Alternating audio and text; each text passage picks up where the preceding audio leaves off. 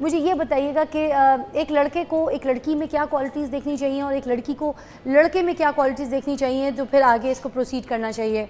ये हमारे यंगस्टर्स को प्लीज़ आप बताइए, ताकि उनको पता चले कि उनकी शादी के लिए सही चॉइस क्या है।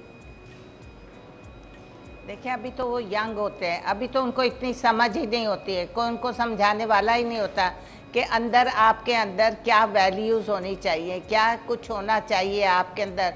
आपको कितना स्ट्रांग होना चाहिए, आपकी क्वालिफिकेशन क्या होनी चाहिए, आपकी एजुकेशन कितनी होनी चाहिए, आप इतने केपेबल हैं कि कमा सकें, या आप अपने माँ बाप के पैसे के ऊपर डिपेंड करेंगे, या वो पॉकेट मनी देंगे, या वो अपनी बीवी को भी पॉकेट मनी देंगे तो फिर इस तरह की शादियाँ चल सकती हैं।